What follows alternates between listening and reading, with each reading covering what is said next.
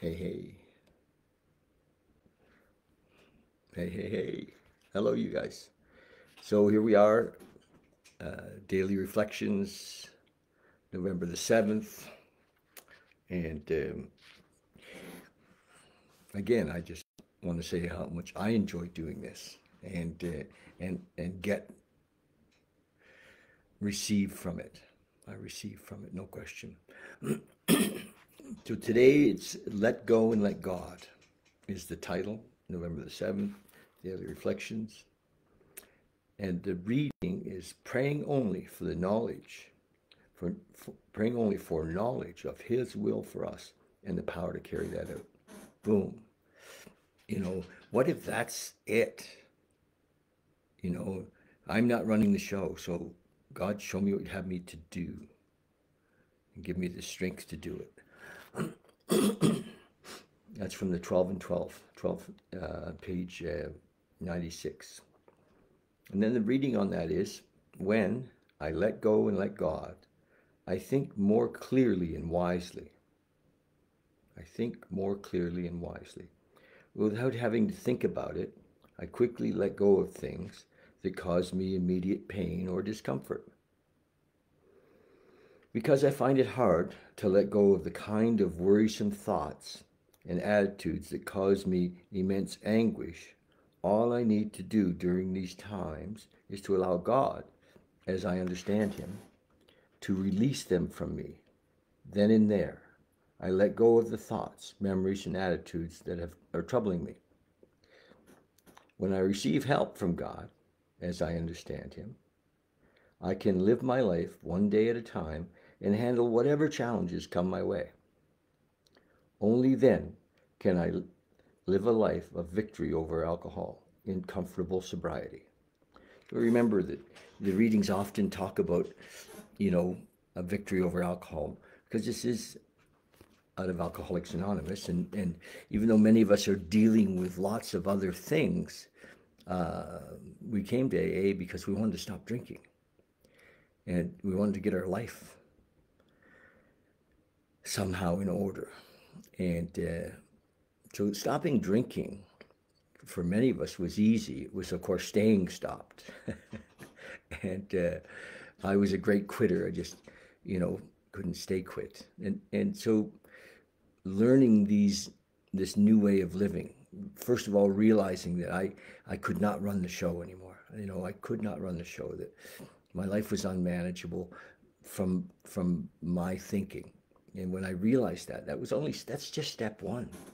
You know, then the whole rest of the program is showing me how to live in the moment, in relationship with God as I understand Him. And of course, how I understand God is, is not as something, this is my understanding, not as something that's separate, you know, infinite, infinite. Bill says in uh, in we agnostics, God either is or he isn't. Either he's everything or he's nothing. And I love that word, everything. You know, so it's I'm not seeking something separate. You know, again, Bill said in we agnostics, deep down inside every man, woman, and child is the fundamental idea of God. Where do we find God? Only in in in within us in the moment. And uh, as we practice that, you know, bringing ourselves into this relationship, this conscious contact with, with a higher power, which step 11 is all about. You know, less and less do we get caught up in, in our fears, in our guilt, in our shame, in our um, desires. You know, to let go of, of needing to, you know, get uh, most of my life, all of my life pretty much, that was the thing. It was uh, I was always trying to get something from outside of me, and uh, to be able to just settle into the moment. Boom. And everything is perfect in the moment. We had our meditation group here last night. Wow, it was so so good. We've we, you know, because as you as we drop into the moment, we, we literally expand. We're expanded into the the space, into this whatever you want to call it, nothingness, this endlessness. So there was a lot of expandedness going on last night. It was beautiful. So that's the deal. You know, call it what you want presence, God, universal intelligence, love. We experience it in the moment. And so we practice, you know, the, best time to practice, like the signpost of when we need to be here, is when fear comes up, when our old thoughts come up uh, of guilt or shame or, you know, um, what about me or self pity or victim thoughts as they come up. That's that's a, that's like a, a great big sign saying, okay, be here now, pray, you know, and and, and I love prayer. Prayer is the, the magic, you know, door opener to the moment into my relationship with higher power. So that's my kind of take on today's reading. Let go and let God. You know, just letting go. Uh, I don't know if you've ever read Dr. David Hawkins, but Hawkins' stuff is so good explaining this letting go process. He has a beautiful book called Letting Go. I really recommend it. And uh, he was uh, also in recovery and um, and helped a lot of people in recovery.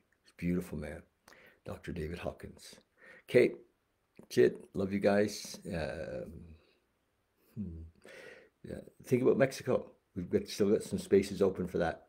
And uh, it's happening. I was talking to a guy today, a friend of mine today, lives in Portland, and he'd like to come for two weeks. So we're of we're gonna do basically two packages. One will be uh, the whole month, which starts on the 28th of January uh, on the Monday, or the other would be two week increments, the first two weeks or the second two weeks, so that because uh, you don't have a, a, lot of space and, and uh, yeah, so that's it. Love you. Cheers. Bye.